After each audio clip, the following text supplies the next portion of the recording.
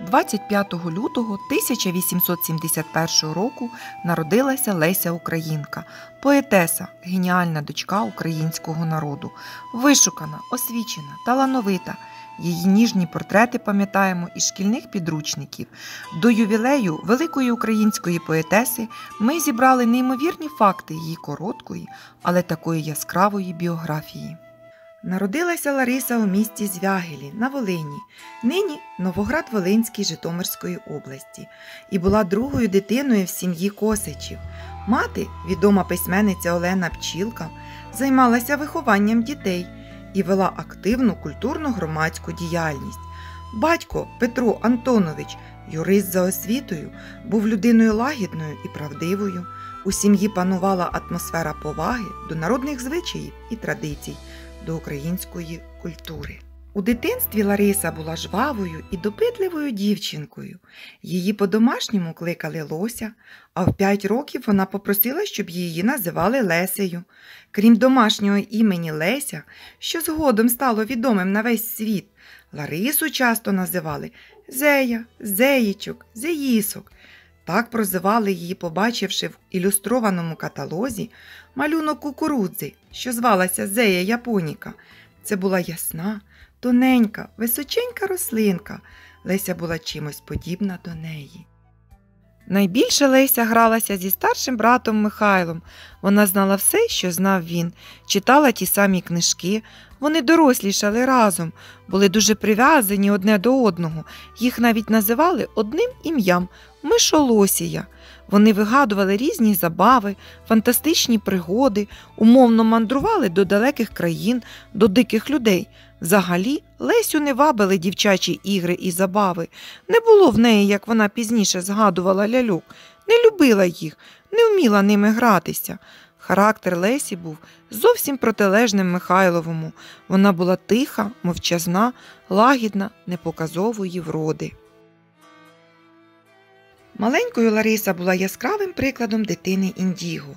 У чотири роки добре читала, а в п'ять освоїла фортепіано та написала досить змістовного листа своєму дядькові Михайлу Драгоманову, якого дуже любила. Разом з тим, уже в шість років дівчинка захопилася вишиванням. На іменини мамі, батькові Михайлові щороку дарувала свої чудові вишиванки. Проявляла мала Леся інтерес і до малювання. Батько навіть запросив був художника з Ковеля, який учив її малювати з натури. Початкову освіту дітям давали батьки, а мати ладна була б ніколи не віддавати їх до школи, бо вважала казенну науку не лише поганою, а й шкідливою. Лариса Косач у підлітковому віці зрозуміла, що усі важливі європейські літературні шедеври варто читати в оригіналі. Тому вона спрагло почала вивчати мови. До 20 років дівчина вільно писала і говорила польською, англійською, латинською, грецькою, давньогрецькою, російською, французькою, німецькою, італійською та не довчила в останні роки життя іспанську мову. У 12-річному віці вона переклала українською мовою вечорниці на хуторі під Диканькою Миколи Гоголя, що до неї не зробив жоден з професійних критиків. Перекладала твори Гейне, Гюго, Гомера без словників. Літературну діяльність Леся почала рано. У 9 років написала перший вірш Надія, присвячений тітці Елі. Коли дівчині було 13 років, з'явився перший друкований вірш Конвалія. Передбачлива мати, відсилаючи вірші 13-річної доньки до друку в Галичину, підписувала їх псевдонімом Леся Українка. Українка значить дівчина з України. Олена Пчілка назавжди поєднала долю Лесі з долею України. Доля розпорядилася так, що наділила Лесю дивовижними здібностями і в той же час змусила виборювати життя в щоденних муках і стражданнях. Під час свята водохреща в Луцьку дівчинка так захопилася, що не відчула, як промочила ноги в крижаній воді. Спочатку боліла нога, потім рука, діагноз туберкульоз кісток, а потім легень і нирок. Та ще в дитинстві поетеса засвоїла правило щоб не плакати, треба сміятись. Отак і змагалася з важкою недугою все життя. У 19 років Леся Українка написала для молодшої сестри підручник Стародавня історія східних народів.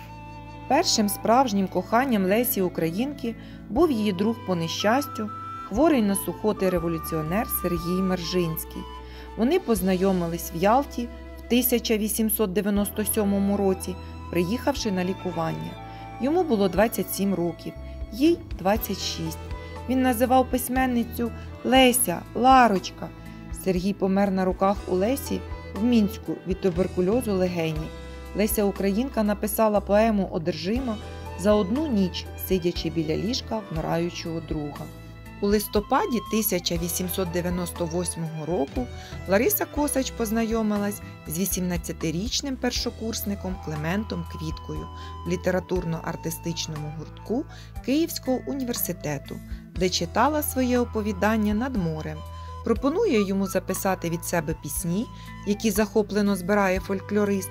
Згодом знайомство переростає в стосунки. Влітку 1901 року Кльоня, так називали його косачі, складає Ларисі компанію в подорожі Буковиною.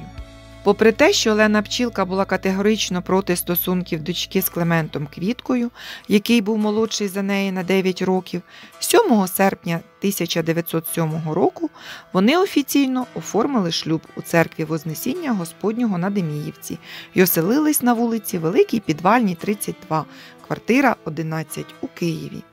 21 серпня разом вирушили до Криму, де Квітка отримав посаду в суді.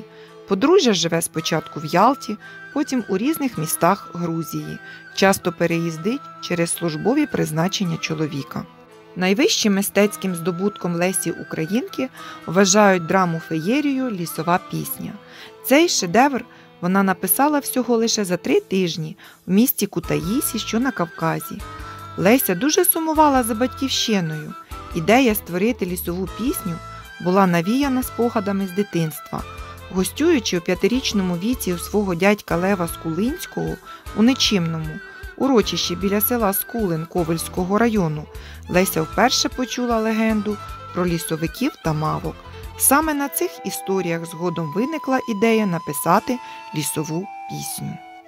Мало хто знає, в останні роки життя очі Лесі Українки набули надзвичайно блакитного кольору. Цікаво, що до того вони не мали настільки інтенсивного забарвлення. Цей факт дійсно дивував усіх довкола, адже очі поетеси були, наче неземні.